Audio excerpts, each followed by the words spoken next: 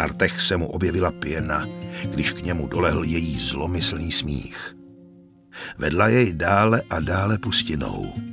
Míjela hodina za hodinou a když se slunce začalo sklánět k západu, tvář krajiny se změnila. Širá pláň ustoupila nízkým pahorkům, které přecházely v horská úbočí. Dál na sever spatřil mohutné hory, jejich vrcholky modravé dálkou a zrůžovělé v paprscích rudého zapadajícího slunce. Na tmavnoucí obloze se ukázala severní záře, mohutné pásy chladného, planoucího světla, které jasnělo a zářilo. Nebe nad ním se rozzářilo a zaplanulo podivnými světly a záblesky. Sníh vydával zvláštní třpit, hned mrazivě modrý, hned ledově karmínový, jednou chladně stříbrný.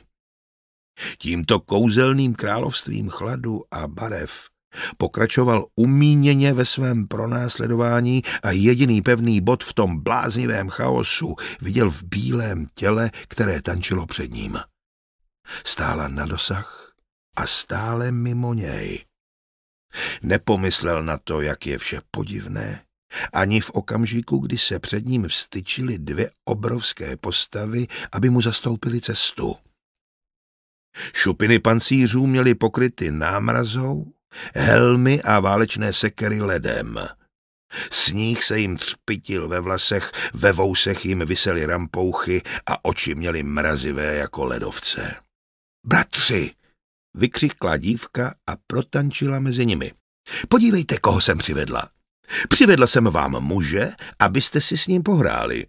Vyrvěte mu srdce z těla a pak jej ještě kouřící položíme na stůl našemu otci.